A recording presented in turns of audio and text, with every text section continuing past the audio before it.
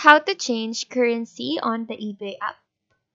So first, let's go ahead and open the eBay application on our mobile device.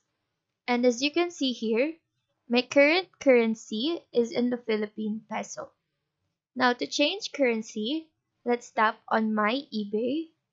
Click on the option on the bottom part which is Settings. Scroll down in this page and then tap on Country and Region.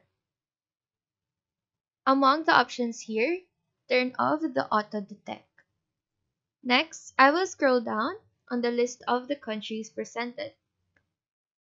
And I will select United States since I want to change my currency to USD or US dollars. And if we go back and check on the prices of the items in our homepage, you can see that it is now in the USD. So that is how to change currency on the eBay app. Do let us know if this video helped you out, and if you have any questions, feel free to drop them down below. Thank you for watching and have a nice day.